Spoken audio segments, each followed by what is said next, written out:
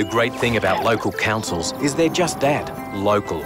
Run by locals for locals. It's what a community is all about.